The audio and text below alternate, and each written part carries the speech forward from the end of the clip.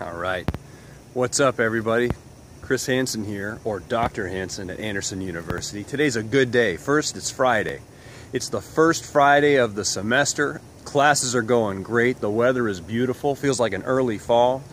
It's not just a great day because it's Anderson University and it's Friday. It's another great day because there are four red Ford F-150s parked in the same parking lot.